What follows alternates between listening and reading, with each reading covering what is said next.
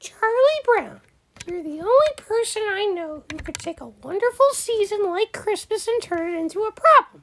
Maybe Lucy's right. Out of all the Charlie Browns in the world, you're the Charlie Browniest.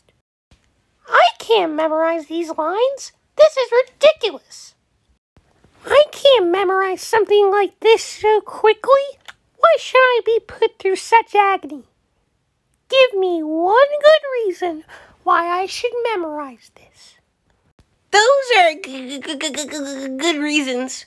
Christmas is not only getting too commercial, it's getting too dangerous. Well, this is one Christmas shepherd who's going to keep his trusty blanket with him. See, you wouldn't hit an innocent shepherd, would you? Gee, do they still make wooden Christmas trees? Jump into a pile of leaves with a wet sucker. Dear Great Pumpkin, I am looking forward to your arrival on Halloween night. I hope you will bring me lots of presents. You must get discouraged because more people believe in Santa Claus than in you. Well, let's face it, Santa Claus has had more publicity, but being number two, perhaps you try harder. Everyone tells me you are a fake, but I believe in you. P.S. If you really are fake, don't tell me. I don't want to know.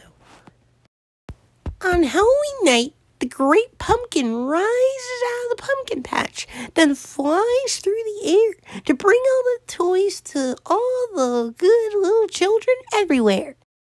Just look, nothing but sincerity, as far as the eye can see.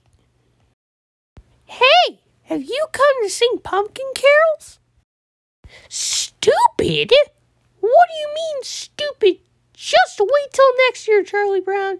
You'll see next year at this same time, I'll find a pumpkin patch that's real sincere, and I'll sing that pumpkin patch until the great pumpkin appears. What's all the commotion? Sally, Thanksgiving is a very important holiday. Ours was the first country in the world to make a national holiday to give thanks. What are you going to do on Thanksgiving, Charlie Brown? Why don't you just call her back and explain it to her? What time are you going over to your grandmother's, Charlie Brown?